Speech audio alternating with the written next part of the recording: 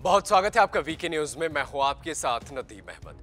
पति पत्नी के बीच बेटी के जन्म लेने पर हुआ झगड़ा इतना बढ़ गया कि हैवानियत की सारे हदें आरोपी ने पार कर दी। आरोपी पति ने पत्नी की हत्या का प्रयास किया और प्राइवेट पार्ट में लाल मिर्च डाल दी। मामले में पड़ोसियों ने किसी तरह से महिला की जान बचाई और पुलिस को इसकी सूचना दी। मौके पर पहुँची पुलिस ने आरोपी को गिरफ़्तार कर लिया है। वहीं महिला का इलाज अस्पताल में जारी है। घटना थाना टिकैत नगर के अरुआ गाँव की है। यहाँ एक व्यक्ति ने पत्नी से नाराज़ होकर उसे मुँह में कपड़ा ठूस कर पिटाई की। इसके बाद पत्नी के प्राइवेट पार्ट में लाल मिर्च डाल दी। महिला की तहरीर के आधार पर अब मुकदमा दर्ज किया गया है और उसका चिकित्सकीय परीक्षण भी करवाया गया है। महिला का कहना है कि आरोपी पति ने फांसी लगाकर उसे मारने का भी प्रयास किया। शोर सुनकर ग्रामीण पहुँचे और दीवार तोड़कर उसे बचाया। पुलिस ने शनिवार को इस मामले में आरोपी को गिरफ़्तार कर लिया है।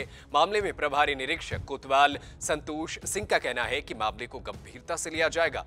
चिकित्सीय परीक्षण के बाद, यानी मेडिकल जाँच के बाद महिला की रिपोर्ट आने पर आगे की कार्रवाई की जाएगी। फ़िलहाल पति को गिरफ़्तार कर जेल भेज दिया गया है। गौरतलब है कि सिद्धौर निवासी महिला की शादी 2014 में हुई थी। उसके बाद से ही पति लगातार दहेज की मांग को लेकर उसे प्रताड़ित करता था। महिला ने बताया कि पति उस पर चरित्र हनन का भी आरोप लगाता है। विवाह के बाद उसे तीन पुत्रियाँ हुई। इसमें से बड़ी बेटी की मौत भी हो गई।